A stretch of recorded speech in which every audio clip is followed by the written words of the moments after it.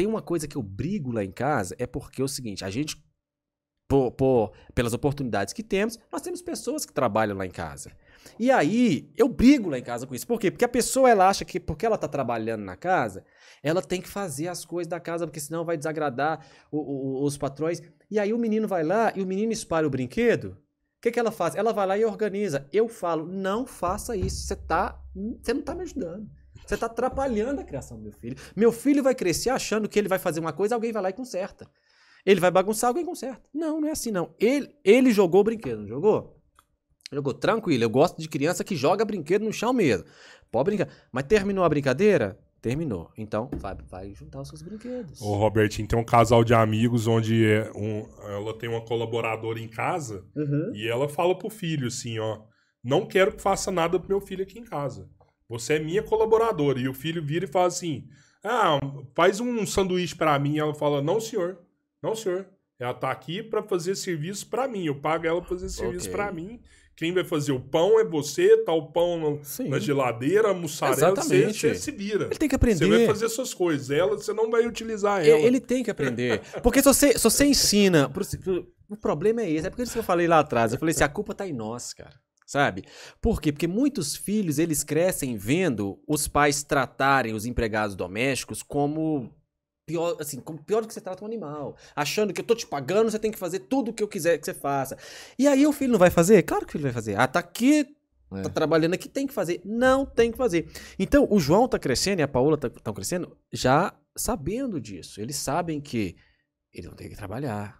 O João vai ter que trabalhar. O João vai ter que trabalhar cedo. Sabe, eu comecei a trabalhar com 4 anos, rapaz. Ah, para. Oxi. para. Meu pai Antes poderia entrar aí na. não começou, não. É?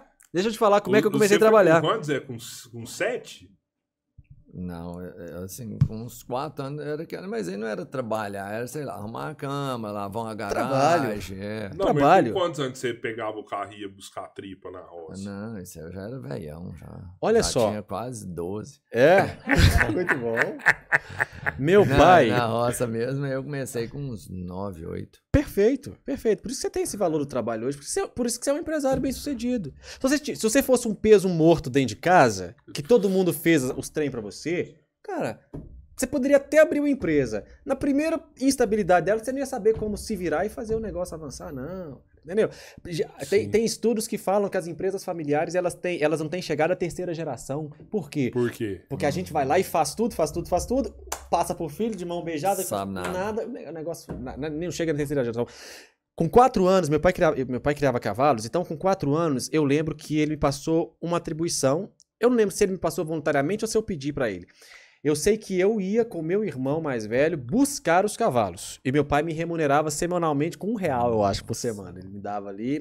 E eu ia buscar os cavalos com meu irmão. Era responsabilidade fazer isso. Por isso que hoje eu tenho uma, uma relação com o trabalho da forma como eu tenho. Eu entendo que eu preciso trabalhar. Homem, homem tem que construir alguma coisa.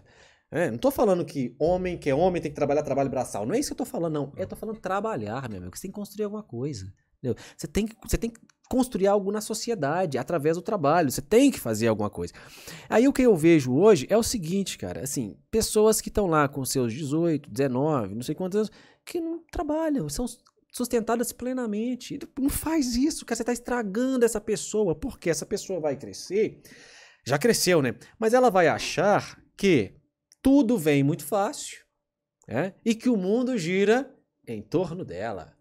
Eu, eu, eu, eu falo assim: a faculdade de medicina é um laboratório gostoso demais. Gostoso demais, cara, porque eu fico olhando para os meus colegas de turma e eu olho para alguns e eu falo assim: Senhor, eu acho assim, não há problema nenhum um pai bancar integralmente uma faculdade para um filho. Até porque a faculdade de medicina é, é cara, né? Se os meus filhos quiserem ir para essa área da medicina também, eu pagaria a faculdade para eles. Só que eu penso o seguinte: se eu pago a faculdade para meu filho, ele já tem que entender que é o último investimento que eu estou fazendo para ele. Ele vai se virar. E, e aí, se eu tiver algum patrimônio na época, depois que eu pagar a faculdade para eles, eu vou vender tudo e viajar com a Paula. ele vai se virar, eles, né? Mas, enfim, aí eu vejo alguns colegas lá que assim, é, os pais já são os pais que pagam a faculdade, aí o pai que paga a faculdade, também o pai paga o, o, o, a, o- a hospedagem, lá, sei lá como é que chama, o aluguel, né, para o menino morar. A Aí o pai- República. A República, o pai que dá tudo, inclusive quando o cara vai sair com a menininha, é o pai que tem que dar. O que, que esse cara tá aprendendo, cara? O que ele tá aprendendo? Ele tá aprendendo a receber tudo. Ele tá aprendendo que o seguinte, que tem um homem aí sustentando ele, que é o pai dele, certo? E ele não tá aprendendo a ser homem. Aí quando eu falei com você que o problema está em nós, é isso. Nós conseguimos ser homens. Por quê? Porque fomos ensinados a ser homem. Não recebemos as coisas aí de mão beijada. Aí a gente não está ensinando os nossos filhos a serem homens. Aí os nossos filhos estão ficando à sombra, a nossa sombra que somos os homens. Né? Então ele, ele acha que ele não precisa aprender a ser homem, por quê? Porque já tem um homem para resolver todos os problemas dele, que é o pai. Então o carro que ele dirigir vai ser o pai que vai dar. E aí, se ele dirigir, beber e, e- e atropelar alguém, é o pai que vai lá na porta da delegacia com o advogado. Não conosco, aqui não. Sabe, assim, assim, gente, eu, eu, acho, eu acho um absurdo as coisas que eu vejo acontecendo. Principalmente nessa geração, que eram coisas que se a gente contasse pro nosso avô, o cara ia falar assim: o quê? Isso acontece? Acontece. Acontece. É, é- é o rapaz que engravida a mocinha e some. e some. Tá? Ou então, ele bota o pai dele e a mãe dele para sustentar. Ele não teve espermatozoide para fecundar, então significa que ele já passou da puberdade. Ele tem músculo para trabalhar. Vá, trabalhe e sustente seu filho. né? Mas a gente está estragando as nossas próximas gerações. Quando a gente pensa isso, eu não vou deixar meu filho passar pelo que eu passei. Eu não estou dizendo aqui, cara, que a gente tem que fazer os nossos filhos sofrerem. Não. Mas eu estou dizendo que nós só somos o que somos hoje porque a gente passou por algumas coisas na vida que fizeram a gente ter a obrigação de aprender. Se você não tivesse passado por Isso isso. é sofrimento também. né? Isso que- não, e eu vou Isso é te um falar. presente o- que a gente pode O dar. sofrimento, um sofrimento medido, eu acho que é elevado. Ele te dá uma casca. Você precisa de ter dores para você acostumar Sim. com elas, porque elas vão surgir em vários momentos da sua vida. E se você não é acostumado com a dor, Que é, isso? Que tipo de gente Os é esse? que- nãos, né? Os nãos é, o não é uma crescer, né? dor. Exatamente. É. O parto é uma dor. O feto sofre. A gente nasce para sobre nascer. isso. é. No parto natural, o feto ele fica em alguns momentos sem oxigenação. É? Sim. Perde, a oxigenação é interrompida na passagem. Ele sofre. É- Faz parte. Aí agora a gente tá olhando para os nossos filhos, eu não quero que sofra. Aí beleza, aí por isso que tá desse jeito, a geração que tá hoje. Entendeu? O mundo tá desse jeito porque a gente, tá, a gente não quer que os nossos pupilos sofram. Cara, eu não tô falando que você tem que, tem que submeter seu filho a, a- a- a sofrimentos degradantes. Não é isso, mas.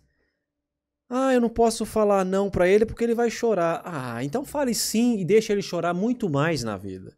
Só fale sim pro seu filho. A- A afinal. hora que a vida dá ou não. Aí é a hora que filho chora e mãe não vê.